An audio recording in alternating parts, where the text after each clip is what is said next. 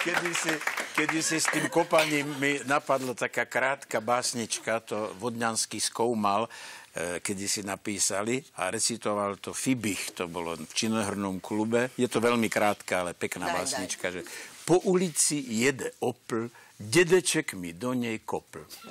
To je celé. My sme sa už nachystali na tvorivú dielňu. Na silný umelecký zážitok. No.